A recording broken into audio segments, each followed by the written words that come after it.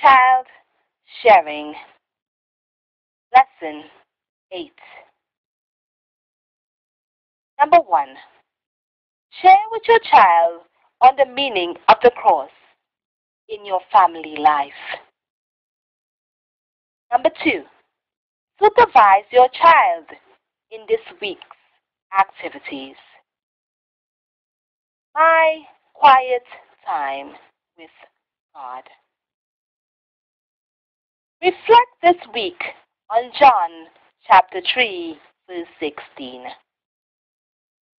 For God so loved the world that he gave his only Son, so that everyone who believes in him may not die, but may have eternal life, which has been described as the world's most favorite Bible passage. And see if you can discover what makes it the most loved Bible verse of all. After reflection, what does it really say to you? And your response.